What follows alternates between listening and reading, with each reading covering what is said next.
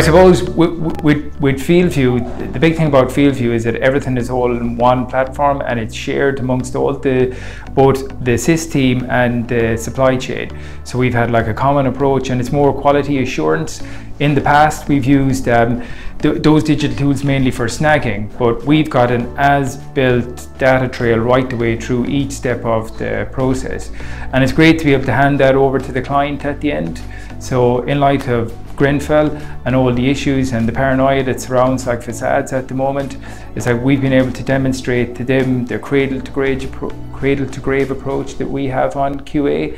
And it's like the, the quality of the material is first class because in the past the stuff would be handled that many times between scanned, printed and used on site. It's nearly illegible by the time you come to the end of the job and you put them in the O&M files.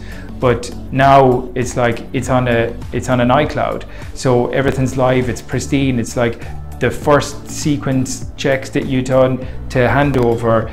We're using FieldView for all our quality assurance on this project um, and it took some time to set up at the beginning of the project um, but we sat down with all our subcontractors and we went through all of the things we want to check and we've had really good buy-in from our subcontractors um, and everyone is using iPads out there.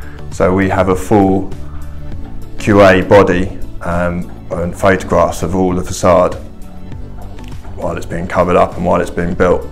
Um, the, the, benefits of using FieldView are huge.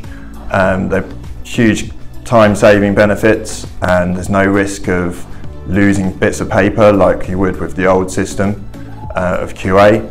We can easily access all the system, it's all saved online and we can easily find photographs which are linked to the various checks that we've done and where they are in the various areas, the work areas that have been covered.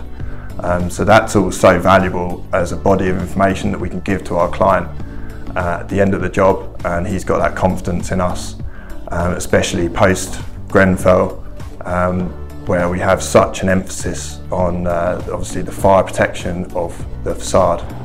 When we began to develop FieldView, we sat down with all our subcontractors and we had a three hour meeting and we got together with all the ideas of all the things we wanted to check and we pulled them all together to develop the, the forms so it was relevant and specific to our project and especially with the hold points that um, are developed during the, the, stage that they're all relevant and they're checking the right things um, when we get to those, those hold points on site. And with that being developed with our subcontractor, we have full buy-in from him and the, um, the QA system works really, really well and everyone's understanding it. There's, everything is relevant on there that needs to be on there for the checks that we're doing. There's 750 apartments in this project. There's over 3,000 windows to install. There's over 1.2 million bricks to lay. So the volume of the project is really, really large. So having something set up um, that's really robust at the beginning, although it took more time in the beginning to set up. Um, there's definite time saving throughout for our subcontractors and for our managers as well when they're doing their checks. Um, it's, it's a lot of repetition and it's all about volume, so that, that's been huge for us.